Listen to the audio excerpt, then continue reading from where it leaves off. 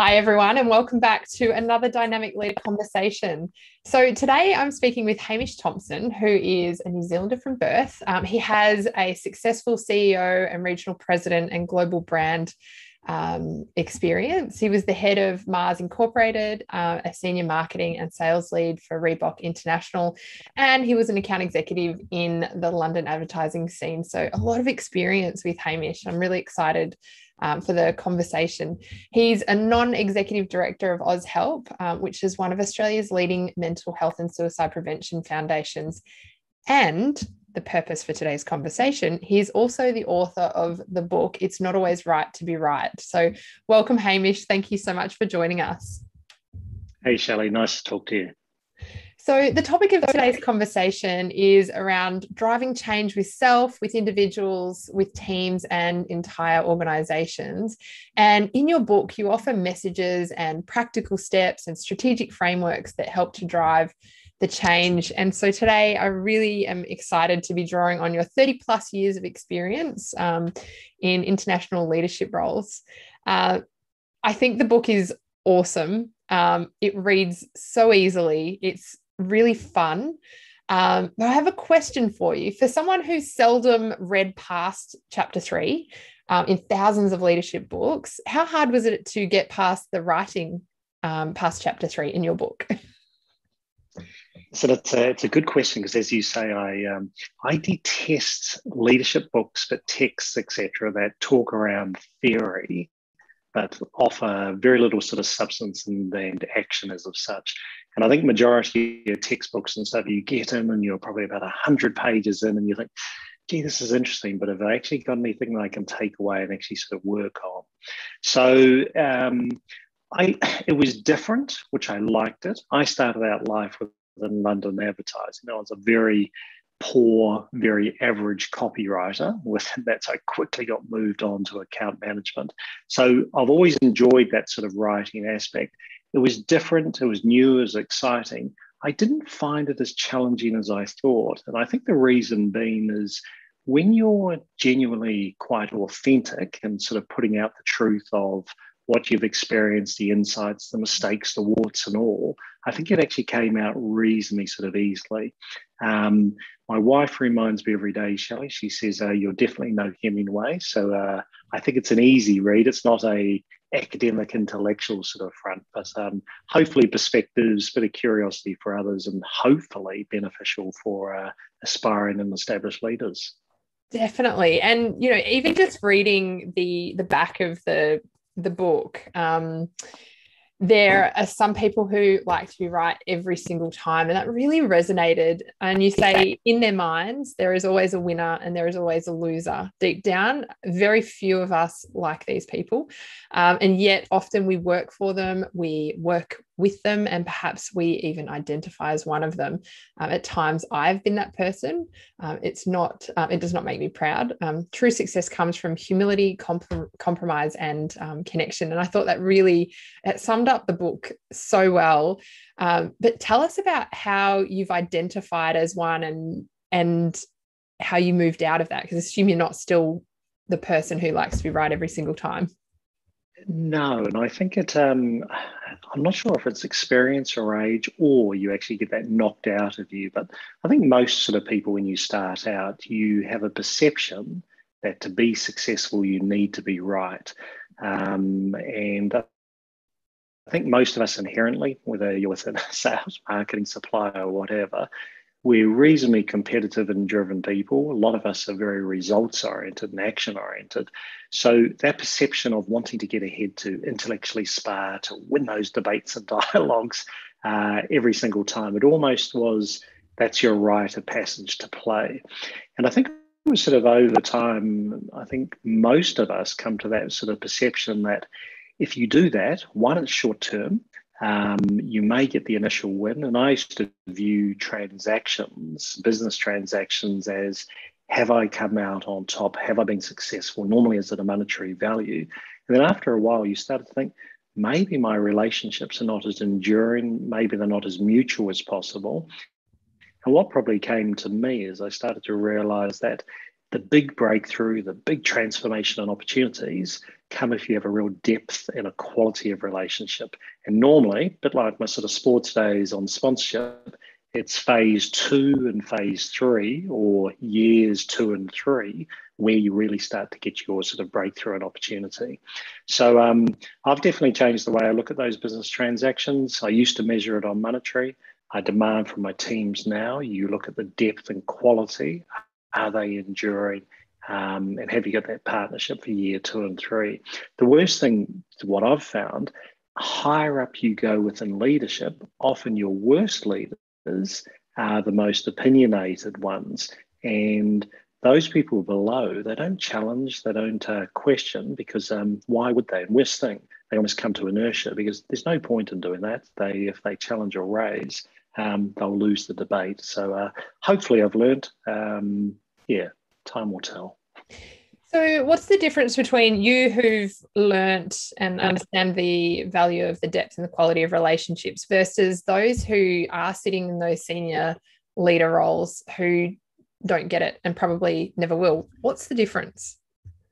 Um, I personally think, and I know there's that big sort of topic and discussion and many books being talk around sort of servant leadership.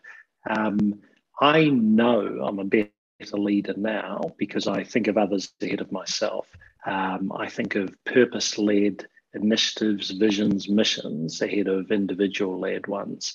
So I think the difference is for those around you, I think it provides them a greater purpose and a greater motivation or ambition to drive and uh, probably sort of put more effort, uh, more, more effort within. Um, I definitely think it unlocks potential within others because they see that there's caring and empathy um, beyond a boss simply looking at their own sort of personal personal agenda. Um, so that, those are probably sort of the, the, the main reasons but uh, I think in many cases, a lot of people sort of need to go through it and experience it themselves to see what is overall, what's the better outcome. Um, and eventually we all hopefully come to that same conclusion. If we could do it earlier within our career, and I think a lot of the young people coming through, we talked earlier around sort of the, the university sort of stage, um, I think they are more purposeful. They're a little bit uh, less sort of self-oriented as well, which is a good thing. So, if you've got a, a leader um, in a senior role in an organization that's sitting quite high up, um, and we know that a lot of change filters or comes from the top and filters down, is how do we how do we change the thinking and the mindset of leaders at that senior executive level who are still needing to be right every single time. Uh, what's the what needs to happen? Do we need to wait for them all just to retire and leave the workforce and, and let the others come through? Probably take a while wouldn't it? Uh, listen I, I don't think there's one sort of golden answer on. So let me uh, let me come into the, a few different perspectives. I think those at the top, when they start to realize and they're curious enough, and I sort of term it having an insatiable curiosity, when they start to sort of value others' opinions and when different perspectives, different ideas, different concepts that are new to them and new to their thinking, I think they get that very quickly. And those great leaders, once they understand that, they'll seek to understand before being understood. They'll step back. Um, they'll think less around actually going first within conversations. And automatically, instead of that concept of already always listening, they'll actually have an open mind to begin with. So I think the more that you can provide perspective, different way of thinking, challenge, etc., into senior leaders, I think it will open their minds up as well. I think the other thing is when you do provide content to a senior leader, if you can also provide context behind it as well, and a lot of people say it should be very business oriented feedback directly into a senior leader. I think the best art of feedback is high fact, definitely, but high emotion. Talk as to why it matters, talk around the impact that a leader is having. Um, and I think that actually makes a difference. And the other one, which uh, I've always challenged my agencies directly on, if you're an agency partner, a senior leader doesn't need more yes people. There's nothing worse than that. Most of my direct reports and leadership teams, it's very easy to be loved by your direct reports. If uh, if they don't love you, they're the ones who are going to be impacted against that. But an agency partner is a perfect opportunity to have crucial conversations, tell them as it is. And I tell agency partners that corporations, senior leaders need to be told we're slow, we're boring, and we're dated. Um, and those who care and truly partnership can have those crucial conversations. There are some leaders probably never change, but uh, I think the majority hopefully should. It's so interesting. It's one of the one of the things I enjoy the most about coaching is um, being able to be the person that goes, "I'm not going to tell you what you want to hear. Uh, I'm going to tell you what I'm seeing and what I'm observing, and give some insight into where your blind spots might be, um, and ultimately um, get them to recognize that they are part of the problem and and that that's a little bit uncomfortable. Um, but it's that there's no um, vested interest. I'm unbiased in my approach. And I think, I don't know about you, but I think every senior leader needs an executive coach who can really hold the mirror up and go, this is what I'm seeing. Yeah, I think so. And I think those blind spots, it's um it is about an inner confidence. If you're told things that you don't like, the stage within your career that you're believing you have to be perfect, show no vulnerability, um, you can often sort of ignore those and come up with the five reasons as to why that, that may not be right. So I, I like that term in regard to blind spots. Um, I think there has to be sort of a, an inner confidence within that, that mm. it's actually okay to be uh, okay to be wrong uh, to concede concession, but actually change direction going forward. So, no, agree mm. entirely. Mm. And not giving up on some of the things that um, form their strengths, but being more aware of the context in which it's imp- appropriate and the context in which it actually is a disservice to what you're trying to achieve um, and bring awareness around that. Are you finding, Shelley, in uh, a lot of those sort of execs that you coach that is that an easier message to to put across at a younger stage within their career or an earlier stage in their career? Um, or are you seeing that ability to almost sort of untap that thought process of opening up and being a little bit more vulnerable? Um, you've seen it at all different levels and uh, and tenures? Yeah i think um, so i'm seeing it, it doesn't it doesn't always depend on um, how long they've been in leadership or the level that they're in. I think sometimes it has to do with uh, their energy levels, you know, those that are burnt out and just go, I'm absolutely exhausted with this kind of life. And that can happen for a lot of different reasons through different stages, but that it causes them to go, I need to do something differently. And they're a little bit, they're more open and receptive um, to change. I definitely find the conversations at this more senior, more experienced levels a lot more challenging because they're used to the confrontational sides of conversations and they've got some really um, well established behaviors that they demonstrate to protect themselves to not answer questions to deflect. And so you you really need to be switched on and tapped into what's going on in the conversation. Where are they taking this? Is this an avoidance strategy or is this something that needs to be explored a little bit deeper? So i think the nature of the conversations definitely shifts with those that are more experienced. Um, but I think change needs to have there needs to be a catalyst for it. Um, and I'm, I'm, keen on your thoughts around that that you know, a lot of times it, there has to be something that has happened or something that is coming that is causing enough enough discomfort for them to be open and receptive to it. Yeah I, I think it's interesting sort of to have those conversations. And i always say that you can have the most crucial, challenging conversations when people know you care. If you think around that within your own personal life, it's uh, those ones you trust implicitly and you respect and love.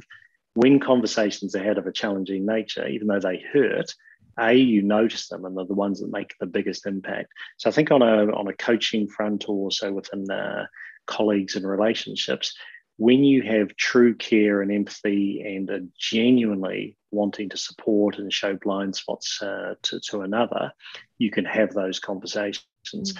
I, I think the biggest unlocker is probably people, and I know it's banned and sort of everywhere, but uh, about being authentic.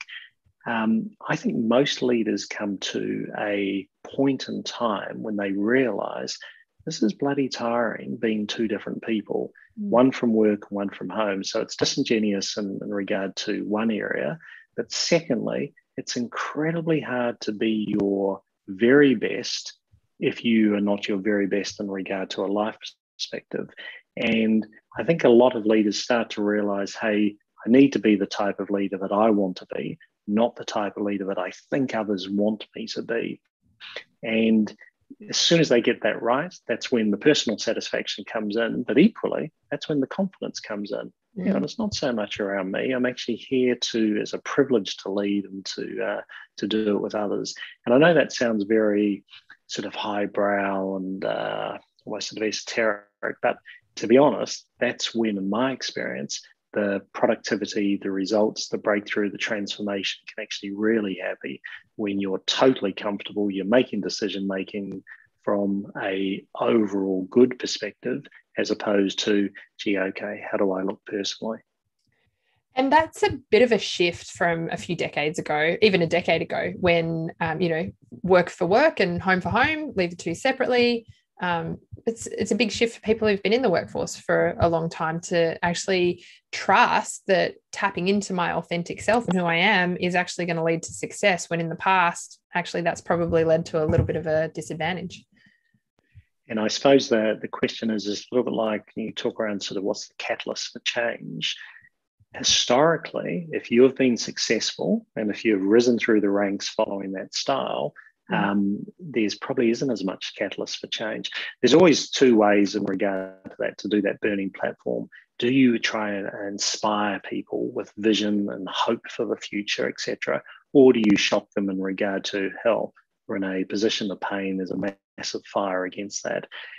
I think inherently we know it should be vision and aspirational in regard to inspiring change. Uh, the fact of the matter is, some people are inherently dissatisfied, and you need to actually light that fire, and that is the climate for change they actually follow. The other one, which I've uh, found over time, um, when it's one or maybe even two people talking around a blind spot to you, um, at times it can almost be a little bit, well, okay, there's always sort of, I hear what you're saying, but here's a rationale as to why it's not when it's a collective response that actually comes from, and a lot of your feedback frames will do this, but 360 through a wide variety of stakeholders, mm. it actually it's a little bit sort of wake up call as well within that. And one of the best things that I've found uh, within leadership, when you get reverse mentoring from particularly somebody at a young age, and I'm a massive supporter of getting graduates, interns, apprentices mm. to sit down with CEOs, leadership teams, review plans for a start strategically because most of it's a little bit fluffing up in the air from our side. Um, so they simplify that and they decomplexify and actually make it really focused. But more so, they'll tell you as it is. And if they can do that in an early age, I listen to somebody at the age sort of around 18 to 21, sort of probably more so than those who are telling me what I want to hear at a very senior level. Can be quite confronting though, but uh, pretty uh, pretty beneficial. We really have to change the way that we um, respond to. You know, you mentioned lighting the fire. Is we need to shift or be more conscious and intentional about how we respond when a fire is lit. In you know that that automatic desire to pull back and and shift away or smooth over and make everything right um, and so it's almost this counterintuitive thing where it's like you need to hold it and even stoke it and put more fuel on it. Yeah, and a lot of people you will revert back when there's a tension or a pressure valve that's actually switched on immediately. Majority of people revert back to their default style, and if that is defensive, reactive, etc., confrontational, that often happens.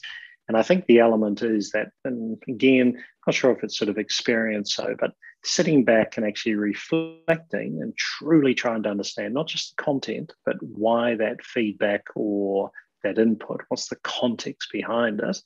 Um, that's the bit I think on that. And I've always been one of these people that when I get asked something, I've always got an immediacy to the answer. Even if I don't know it, I'm thinking, okay, well, this is what I know. And I, well, I believe I know. The stepping back, reflecting more, I think all effective leaders know that there are very few things that actually need urgency within the moment. Mm. Um, you always believe they are, but the importance of it uh, allows you a little bit of perspective, curiosity to uh, sort of go through the different options. I remember I had a very good uh, friend who was at uh, Xstrata, which was the uh, the mining magnate, and every single option that was put into their leadership team had to be extremities on a four quadrant model. So that way, they have massive perspective but curiosity around completely different thought processes. So anything within the middle that was a safe thing, uh, we can think about ourselves. We want extremities. Um, and I just love that because it challenges diversity of thought. And that's why you need diversity uh, of thinking, gender, culture within the leadership teams as well.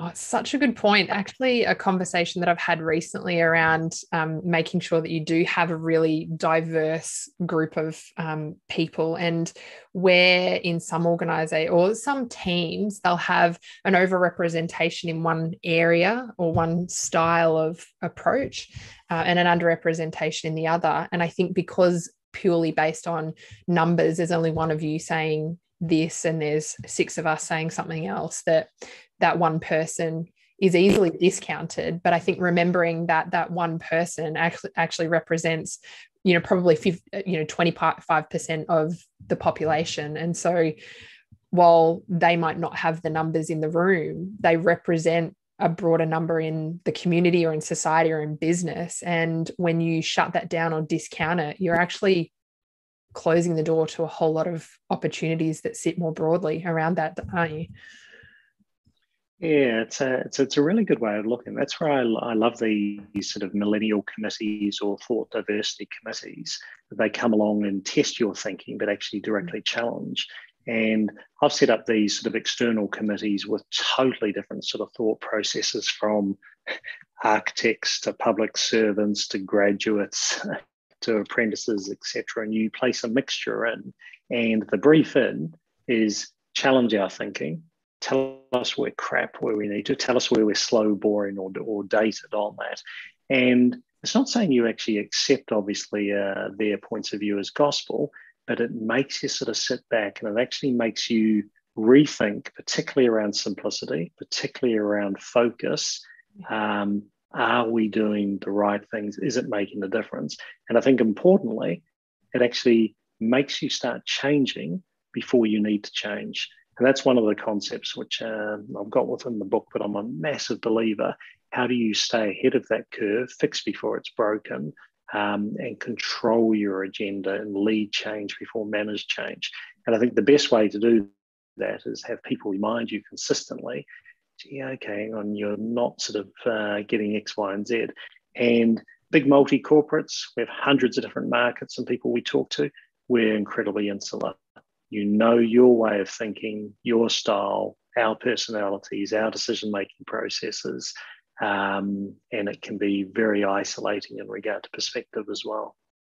When I think about all you've just said, I, I do wonder whether there is rarely opportunities for you to be for it to be right for you to be right like in those situations it's almost right to almost always be wrong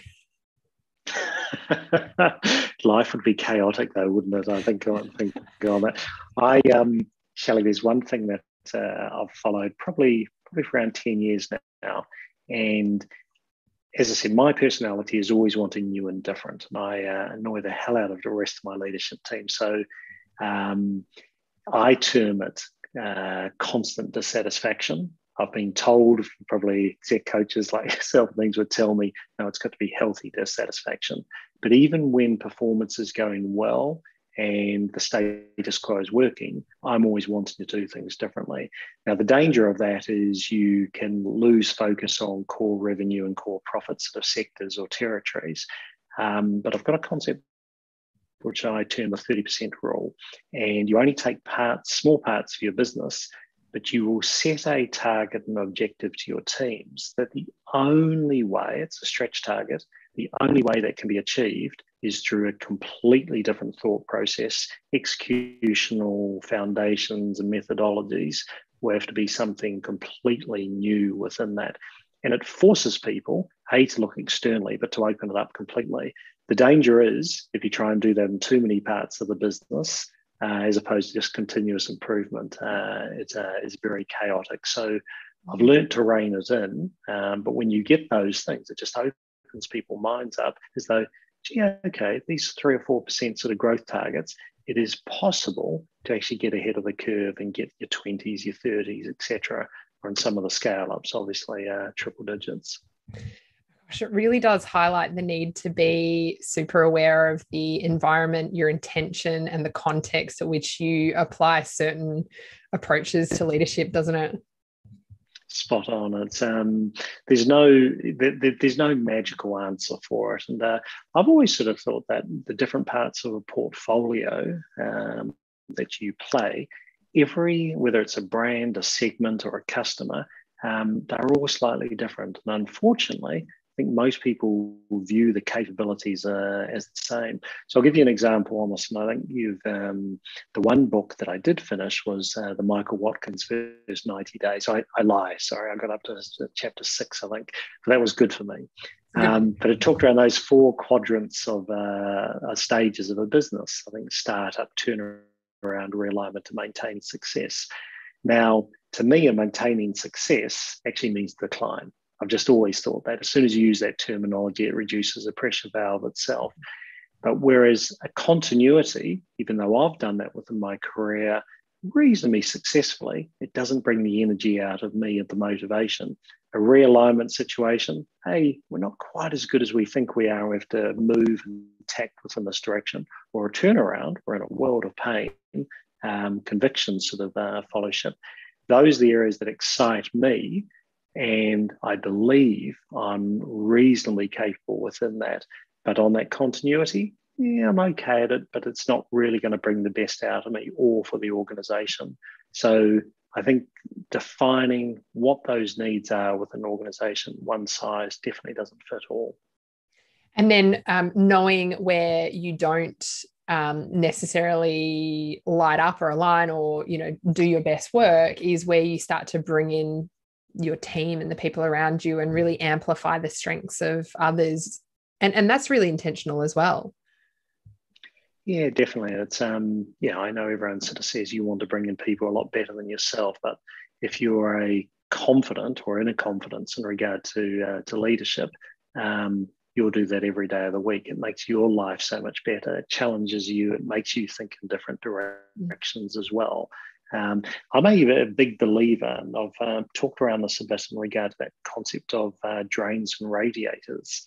Um, and within a organization uh, or a, a, sort of personal life, you're always going to have drains and radiators around you. And a drain is obviously somebody who sort of sucks the lifeblood out of possibility, very limiting beliefs, etc. We've all got our drain moments.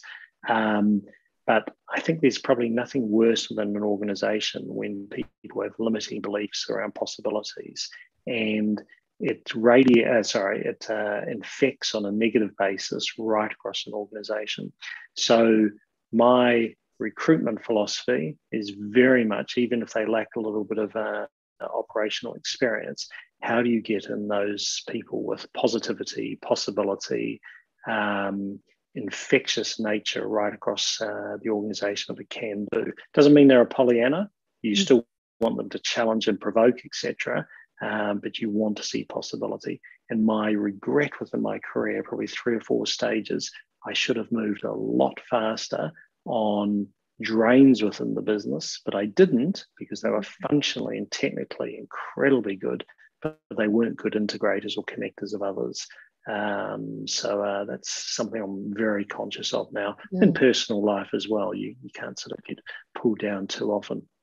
Agreed. Do you do you think that um, a lot of the drain concept is created with this absolutistic thinking? So if it's not this, then it's that, and if it's not that, then it's it's two ends of an extreme. So if it's not open, then it must be closed. And if it's not closed, then it must be open, as opposed to, well, maybe it's actually ajar and it's somewhere in between. And so I think a lot of what I see is a lot of limitations are this need for absolute and this reluctance to move into almost a, a sliding scale or working across a spectrum like a door being ajar and being okay with that yeah i've never actually uh, i've never actually thought of it like that but um, I, I, I get you entirely with and that's about that flexibility and everyone use the word sort of pivots now um, I uh, I got exposed to that uh, um, concept called C plus W is greater than E.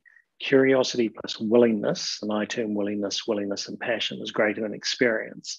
And I think if you've got both that curiosity, insatiable curiosity, and a willingness or a passion, I think you will be flexible. Yeah. Um, and often, what you don't know can actually be beneficial. If you know too much, uh, and that's the danger of staying within one position for too long. Mm-hmm. Um, and I've had a lot of uh, team members sort of talk, oh, gee, okay, am I being a blocker with an organization because I've been here for too long? My view is as long as you are sanely curious and you've got a willingness and a passion to look at new perspectives, diversity, change, pivot, etc., um, no issues whatsoever. But the day you don't, and you only know what you know and you're closed off on that and yeah. as you say it's a black or a white as opposed to a grey um, i think then it is a, it's probably a performance conversation issue yeah and even what i find is even the introduction to this concept of grey or you know things being well it's not one or the other just play with that is you know sitting in discomfort dealing with ambiguity and we are in such an ambiguous environment now and i would say we will be into the future more than more than before and so you know if if it's something that a leader struggles with it should be really high on their priority list to work through and create some comfort or some okayness around it yeah, and I'm, um, I've, as I said, I'm unapologetically, I've been a corporate guy for probably sort of 30 years, and particularly the last 20 years, amazing companies and businesses, um, but very set in their ways in regard to traditional, classical, you know, global, multinational sort of uh, environments. And I must admit, I'm starting to sort of think that is this flexibility model of a lot more external focused uh, personnel, companies, agencies, uh, consulting, contracting in and out. Is that the way that provides a freshness and a di- diversity of thought? And I know we talked around a little bit earlier around this uh, different thought leadership and getting ideas and things. The fact is, we do all think the same. Even when we look different, we, we hire people with the same thought processes. And it's a default. We talk around conscious bias and training, etc. We do all that, but nine times out of 10, you will do that. So, how do you bring in true thought diversity and perspective? And as part of your recruitment philosophy or your contracting or your outsourcing model, how do you do that on a regular basis? Um, it's the outside in perspective. Uh, it's difficult, but uh, can be, yeah, I believe, can be transformational. So Is that where we start to hire the worst candidate for the role? I wonder if you played with that. do you imagine that? That's uh, always people, and I'm always sort of cautious. My supply chain directors, whenever I sort of talk around these concepts of come on, you know, um, curiosity and willingness ahead of experience. There are some roles where uh, no, get back in your box, Hamish. Uh, we like what you're saying but no, we'll just uh, we want somebody who uh, knows how to run this bit of machinery. It's pretty important that uh, it doesn't break. And uh, yeah, okay, thanks. Uh, good input. but it's an interesting theory if you actually said if you posed it to some someone, I actually want you to hire the person that you want to hire least and allow them to give reasons as to why not. And if it is um, if if there is that willingness and the the curiosity, but it's you know a, a, difference in personality that maybe maybe that's how you override the conscious bias. It's quite nice isn't it? I'd i'd uh, listen my my very nature is I, I like the concept. I think the way it could actually work is if i go back to that 30% rule you only do that within a part of your business. Now deloitte's always had a great model that i've followed for years the fringe to the core so when you do a lot of uh, M&As, you are buying smaller little companies, new thought process, new technology, new segments, customers. and you let them, ideally, you don't incorporate and indoctrinate them your way of thinking, you let them influence back into the core. Now, you only do that for certain parts of your business, uh, otherwise, you're going to blow the whole thing up. But I think the, the concept you just sort of talked through, um, yeah, there's probably a few areas within your portfolio, within your team, you can afford to take risks, etc. And if it didn't work out, it's not the end of the world. Uh, the corporation doesn't fall over, but more than likely, it'll open your mind up and think, gee, okay, maybe um, I don't do that just for the 10% of the business. Next time I do that for the 25% of the business. So uh, I, I, yeah, I hadn't thought of it, but I, I like your thinking there. Yeah, I definitely think it would work. So, um, a question in relation to um, brand. You talk about um, building good leadership brand as being important for any leader that's kind of thinking, oh, it's a, you know, I've, I've heard it, it's overused, it's, I don't really get it unless I'm looking for another role. Is my brand really important? Um, I 100% believe that brand is really important. What's your take on it? So I, um, I think I'm, I'm probably a little bit biased towards this because of uh, my supposed sort of marketing background. Um, and this concept around the best uh, the best way to describe amazing or exceptional creative, I think, is this concept called noticed, remembered, understood.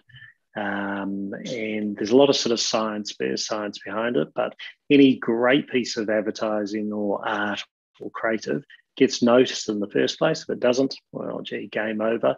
Um, it has to be remembered about who it's from and actually uh, the element on that, and that's distinctive brand assets, consistency, etc. But the last point I think is the understood. They know where it is coming from. They know the context. It's not disjointed. It's uh, consistency. It's cohesive, etc. So I've always sort of, uh, it's interesting. I think marketeers are probably the worst people at it. They do it every single day of the year, developing brands under a notice, remembered, understood. But when it comes to your personal brand, one, how do you get noticed? And you don't have to be uh, an egocentric or an extrovert to do that. And I personally, I think the best leaders are the unassuming ones, but it's a personal mm. uh, sort of view. Um, but how do they get noticed in the first place? What are you doing that's a little bit separate? Are you following the decision making hierarchy or are you actually challenging upwards, etc.? Um, and then the remembered element and understood what's your distinctive assets that you've got um, are you always known as a challenger? Um, are you always known as providing incredible perspective coming in? Have you got uh, empathy within your style? Do you always follow incredible values? Are you the most professional, articulate, most um, uh, diligent person within the room? So I think when you understand those, what gives you energy and what's your talents, and then consistently actually stick to them as well. Um, and the most important thing is coming back again about being authentic. And all the feedback we get over the years, um, there's so much of it can actually overwhelm people. Listen to it, but my thoughts on it is you refine your style, you never change your style. When you start changing because of feedback and being somebody you're not, and I've done this many a times, mm. um, gee, it's it's tiring, but uh, again, it just doesn't bring out the best in you. You have to lead almost two separate lives. Does that mm. make sense? Absolutely. Actually, it feels really easy. I think a lot of people feel like, you know, working on their brand is an additional task that they need to put focus and attention on. And what you're saying is if you just focus on being noticed, being remembered, and being understood, uh, and aligning that with your true authentic self, seems easy it seems like something that you can adopt and bring into your everyday. And that's you know one of the things that i talk to um, a lot of leaders about is don't do more do different. So actually just tweak your approach and and just remember these noticed remembered understood principles and and just slightly adjust what you're doing already. I agree entirely. Yeah. Okay so i have one more question. Um, and so in your book, you say that um, bad bosses are great bosses. and I love it. But what's that about? Well, the first thing I'll say is you don't want too many of them. Okay, no. let's. Uh, life can be bloody challenging enough, so uh, you don't want to have them throughout the whole time. I think. I think the the first thing to note, um, as you're well aware, most people and all the Gallup studies around the world have shown that most people will leave a business not because of the business, not because of the values, the organization, etc. They leave it because of the line manager that they don't relate to. And fact of the matter is, you're bound to have a line manager, a boss at some stage within your career, and probably multiple times where, gee, okay, um, not the greatest within that. And normally when that happens, you start to look around, you get distracted from your learning journey, um, you get distracted in regard to your enjoyment and focus, but you start to look as though what could be next? Let me get into a different department. Can I get a promotion elsewhere? Do I need to leave the business? And there's facts within that in regard to a concept called negativity bias. You learn more, unfortunately, from the negative things that happen to you. They're ingrained within your memory system as opposed to the positive ones, particularly if you've got inherent dissatisfaction, you move on after a positive one, mm. which is an issue in its own right. Um, so, my reflection on this is that when you get a bad boss, you learn more around what not to do than what you should do. And generally, you ingrain those behaviors and those values that go against you within your mindset so that when you lead others, when you interact and connect with others, you won't, won't repeat those uh, repeat those areas at all.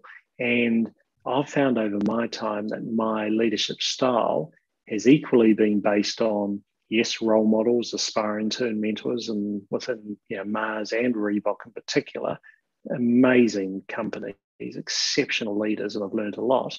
However, those bosses that uh, I didn't enjoy, I certainly have taken a lot from them as well. And equally, when you actually realize that and start thinking, okay, here's a learning opportunity, you start to understand that some of those bad bosses may just have blind spots. And when you have those crucial conversations with them, um, it can actually be beneficial and they may be able to turn that around. And then the other element is they've always got technical or functional mastery. So you can learn a lot from that. But I look at it as I look at it in a, uh, a learning environment, an opportunity. Um, it's difficult. You don't want them all the time, but when you've got them, uh, leverage the hell out of them. Oh, and and that in itself is its own growth opportunity. You know, it's what's on your development plan this year. Well, just working with you. That's it. That's all I need. That'll go down well, wouldn't it?